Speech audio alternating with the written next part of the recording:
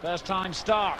Ottey away very well. Jones is matching it at the moment. Devers nearest to the camera. It's those three ahead of the rest. And Jones is going to win it from Ottey.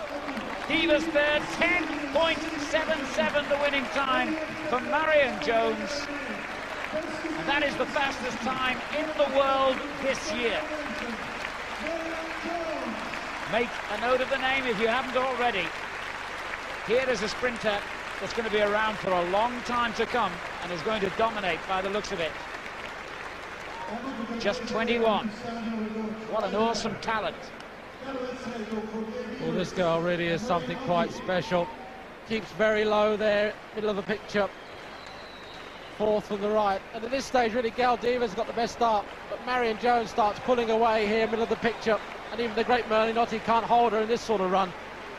Ottey is to take second, Devers third, but Marion really there was superb.